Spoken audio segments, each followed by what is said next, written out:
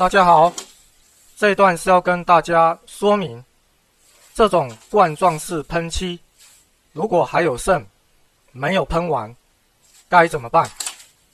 这段将教大家一个妙招，隔绝空气。如果你没有使用过冠状式喷漆，可以看一下这边的使用说明。第一项，使用前将铁罐摇动三十秒，里面的漆料才能均匀混合。第二项，离被喷的目标物要距离约三十公分。第三项，采用少量多次喷法。这边建议大家每隔三十分钟喷上薄薄的一层，这样子的效果比较好。将冠状式和喷漆摇动三十秒左右。大家看一下，这个是使用刷的方式，像左侧这边都有剥落的情形，这边有剥落的情形，所以说这一次我改用冠状式的那这种喷漆来喷，先大略的喷上薄薄的一层。记得要离目标物约三十公分的距离来喷，还有要采用少量多次的喷法。这边建议大家每隔三十分钟喷一次，每次喷薄薄的一层就好。你不要一次想喷到好，一次喷到好。的做法很浪费，而且效果很差。这边建议大家采用少量多次的喷法，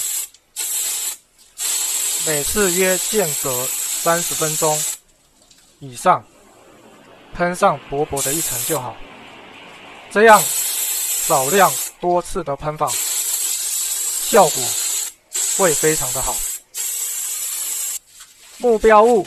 喷完了之后，喷漆还有剩下，不是合上盖子就好哦，因为多多少少还是会接触到空气。最主要是这个喷嘴的部分，是不可以接触到任何空气，要不然里面的漆料会硬化，会造成这个喷嘴去堵住。那该怎么办呢？首先，你要准备一些的水电胶带，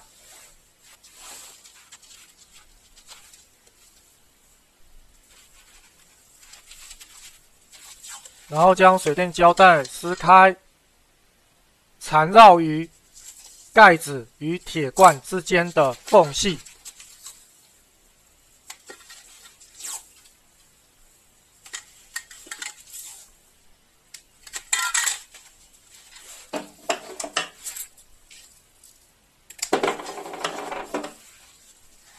然后再用手压一压，这样就可以完全的隔绝空气，非常棒的方式。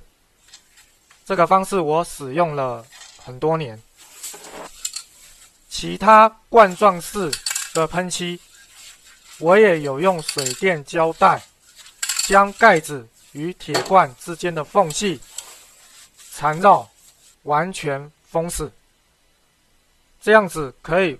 完全的隔离空气，隔好几个月之后，还可以拿出来喷，这是一个非常好的方式，这边推荐给大家。